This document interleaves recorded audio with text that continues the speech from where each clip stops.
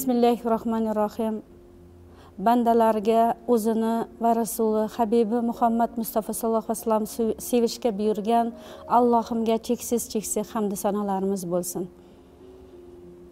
Ikki olam sarvari muhammad mustafa sallallohu alayhi vasallamga salavati durudlarimiz bo'lsin. Muhabbat bu qalbning ichki nozik siridir. Eng martabali ulug' muhabbatlardan biri alloh va uning rasuliga bo'lgan muhabbatdir. Insonlarda iymoni qancha quvvatlashsa muhabbat shuncha oshib boraveradi. Anas ibn molik roziyallohu anhudan rivoyat qilinadi. Payg'ambarim muhammad mustafa sollallohu vasallam barchalaringiz meni farzandingizdan ota onangizdan barcha kishilardan ko'ra ko'proq yaxshi ko'rmaganingizcha haqiqiy mo'min bo'la olmaysizlar deb marhamat qiladilar.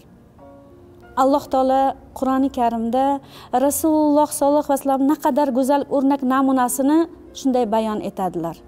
Ey iymon keltirganlar sizlar uchun alloh va oxirat kunidan umidvor qilganlar allohni ko'p zikr qilganlar uchun allohning payg'ambarida go'zal namuna bordir deydilar haqiqatdan payg'ambarimiz muhammad mustafa sollallohu alayhi vasallam hayotning barcha jabhalarida go'zal o'rnak namunasidir alloh taolo payg'ambarimiz muhammad mustafa sollallohu alayhi vasallamning xulq jihatdan ham go'zal o'rnak ekanlarini maqtab qalam surasining to'rtinchi oyatida bismillahi rohmanir rohim va innaka ala xuliqin azim. Ey muhammad siz go'zal xulq uzradirsiz deb marhamat qiladilar. Payg'ambarim muhammad mustafa sallallohu alayhi vasallam marhamat qiladilar. Men bu dunyoga go'zal xulq qanday bo'lishini amalda ko'rsatish uchun yuborilgandirman deydilar. Bir kishi rasulullohdan so'raydilar. Ey rasululloh din nima? deb so'raganlarida payg'ambarim muhammad mustafa sallallohu alayhi vasallam din bu go'zal xulq deb javob beradilar. Chap taraflariga o'tib ey rasululloh din nima? deb so'raganlarida din bu go'zal xulq deb javob beradilar. Yana uchinchi marta so'raganlarida din bu g'azablanmaslik deb javob beradilar. Oysha onamiz roziyallohu anhudan payg'ambarimizni xulqlari qanday edi? deb so'raganlarida xulqlari qur'on edilar deb javob beradilar.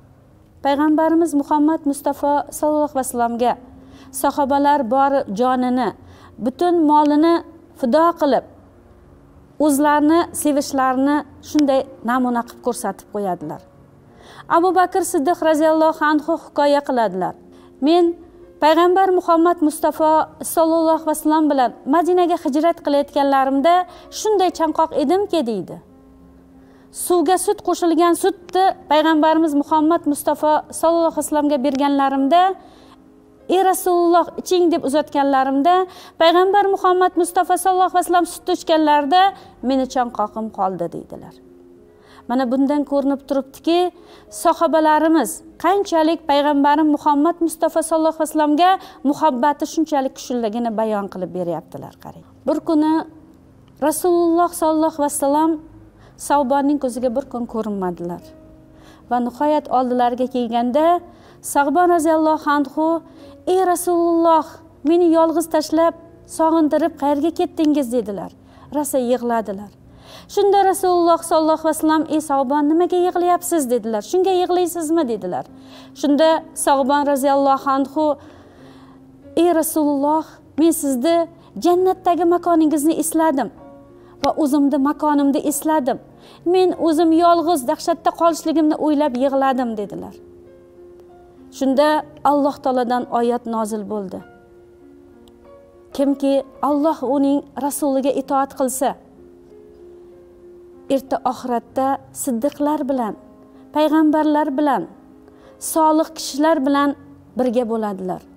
Ana o'shalar yaxshi hamrohdirlar dedilar.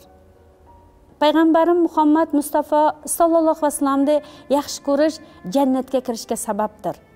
Annas ibn molik roziyallohu anhudan rivoyat qilinadi. Bir kun bir kishi kelib rasululloh sollallohu alayhi vasallamdan so'radilar ey rasululloh qiyomat soati qachon? deb so'radilar. Shunda payg'ambarim muhammad mustafa sollallohu alayhi vasallam hali kishiga qarab qiyomat uchun nima tayyorladingiz? deb so'radilar. Shunda haligi kishi men qiyomat uchun hech narsa tayyorlamadim lekin alloh va uning rasulini sevaman dedilar. Shunda payg'ambarim muhammad mustafa sallallohu alayhi vasallam siz o'zingiz sevgan kishilar bilan birga bo'lasiz dedilar. Anas roziyallohu anhu biz rasulullohdan sen o'zing sevgan kishing bilan birga bo'lasan degan so'zlardan judayam xursand bo'ldilar deb marhamat qiladilar. Payg'ambarim muhammad mustafa sallallohu alayhi vasallamni ko'rmasdan tanigan hurmat qilgan iymon keltirgan ummatlarga ishtiyoq edilar. Annas ibn molikdan rivoyat qilinadi. Payg'ambarim muhammad mustafa sollallohu alayhi vasallam men birodarlarimni ko'rishga ishtiyoqman dedilar. Shunda sahobalar ey rasululloh biz birodarlaring emasmizmi dedilar. Shunda e, rasululloh yo'q sizlar meni birodarlarim emassizlar meni sahobalarimsizlar dedilar.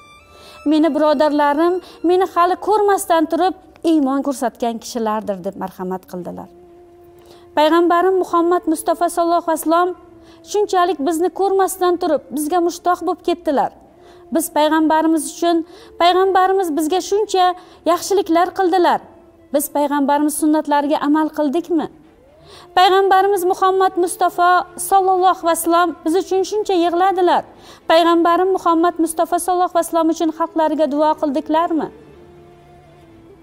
biz onalar farzandlarimizni allohga itoat qilish uchun payg'ambarimiz muhammad mustafa sallallohu alayhi vasallamga muhabbatlarni oshirish uchun allohni kalomini o'rgataylik hadislardan o'rgataylik payg'ambarimizni hayotlarini siyratlarini gapirib beraylik.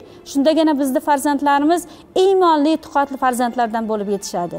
Allohumma solli ala sayyidina muhammad. Assalomu alaykum rahmatullohi va barakatuh.